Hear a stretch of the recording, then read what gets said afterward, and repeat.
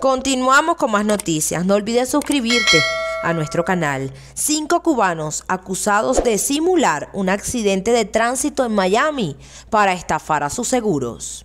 La policía arrestó a cuatro cubanos de un total de cinco que simularon un accidente automovilístico en Miami para defraudar a sus compañías de seguros por unos 58 mil dólares.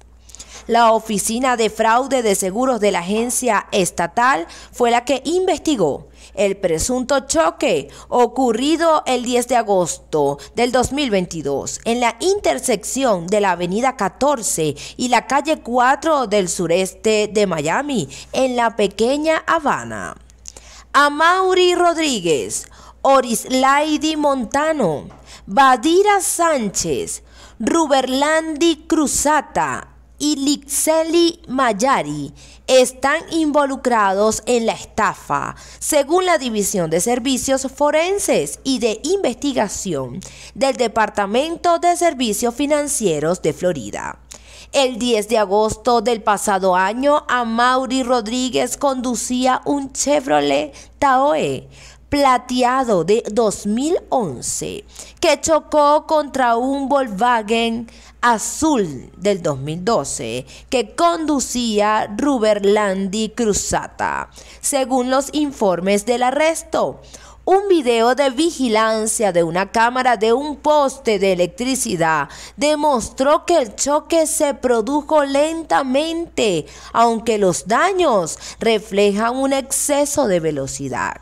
La policía arrestó este jueves a Rodríguez, Montano, Mayari y Cruzata, cada uno de ellos se enfrenta cargos de falsas reclamaciones fraudulentas al seguro hurto mayor en tercer grado y fraude de seguros. La prensa local no precisó si Vadira Sánchez fue detenida o si la policía está intentando localizarla. A finales de agosto del pasado año, cinco personas fueron arrestadas por estafar al seguro médico más de 58 mil dólares a través del montaje de otro accidente automovilístico. En ese caso, los acusados enfrentarán cargos penales por esquema organizado para defraudar, tráfico de pacientes, accidente simulado, fraude de seguros y hurto mayor. Deja tu opinión en la caja de comentarios, suscríbete a nuestro canal y activa la campana para que te mantengas informado.